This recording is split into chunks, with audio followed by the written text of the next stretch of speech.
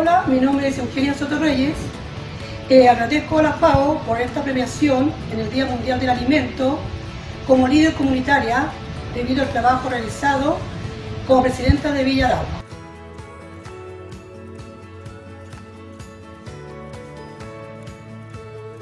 Creamos la primera olla comunitaria en nuestra villa.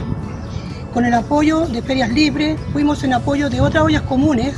Además, criamos el primer huerto comunitario en nuestra sede social.